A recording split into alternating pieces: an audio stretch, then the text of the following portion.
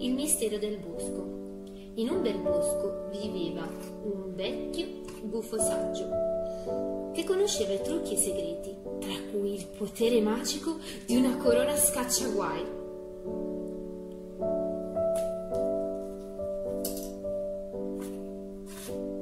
Un giorno gli animali del bosco, uscendo dalle loro tane, si accorsero che tutto si era fermato. Non tirava un alito di vento, c'era un grande silenzio e il sole sembrava non voler tramontare mai. Il gufo saggio disse a tutti: Rimanete al sicuro nelle vostre case perché qualcosa di brutto e pericoloso sta succedendo.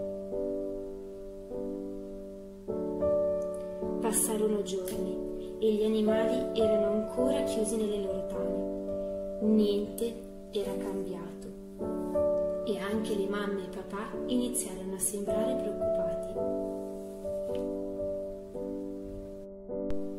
Nel nido sull'albero, Chicco il picchio continuava a chiedere, chiedere, chiedere. Voglio l'acqua! Voglio un gioco! Voglio uscire! E se non veniva subito esaudito, strillava, piangeva e picchiava il becco contro il tronco.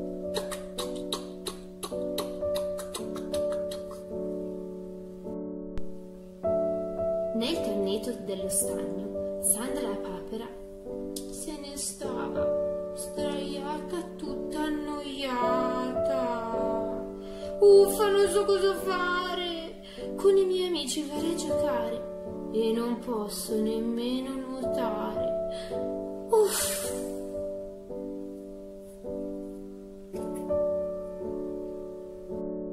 Nel suo tunnel sotto le radici, Ciccio il riccio voleva tenere il suo ciuccio tutto il giorno. Raddrizzava le aquile sulla schiena, così nessuno riusciva ad avvicinarsi per portarglielo via. Mm.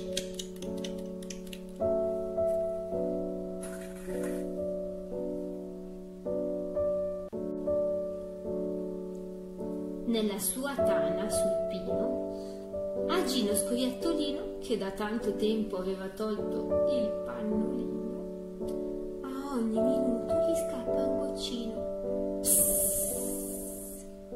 Oh.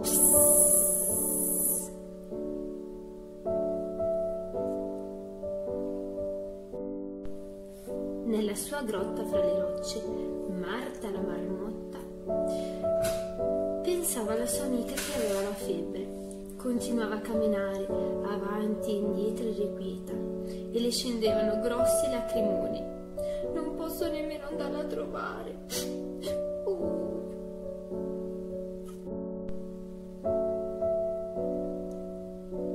Il tempo era lungo, non passava mai. Serviva a fare qualcosa. Ma cosa? Il gufo saggio chiamò. Uh uh, uh uh. Mamma e papà, so io cosa fare. La corona magica scaccia guai vi posso regalare. Presto, presto! Cercate nelle vostre tane qualcosa per voi di speciale, che nella corona si possa incastonare. Così i suoi poteri magici tutti insieme possiamo attivare.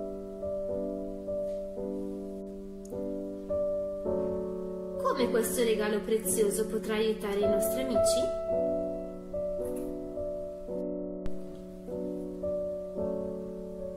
Chicco il picchio e la sua mamma corsero a cercare un pezzettino di corteccia più ruvido dell'albero.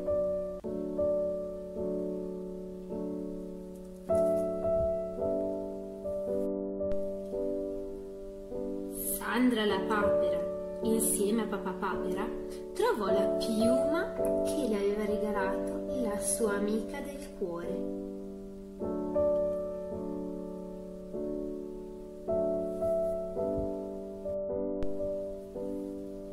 Ciccio e Riccio, insieme alla sua mamma, si precipitò a cercare la scatolina dove era conservato il suo primo aculeo.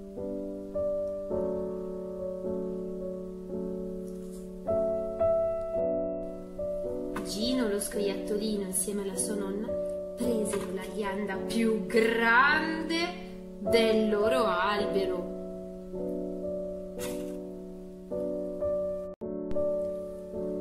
Marta la marmotta, insieme al suo papà, trovò il legnetto rosicchiato ed inciso con i suoi primi dentini.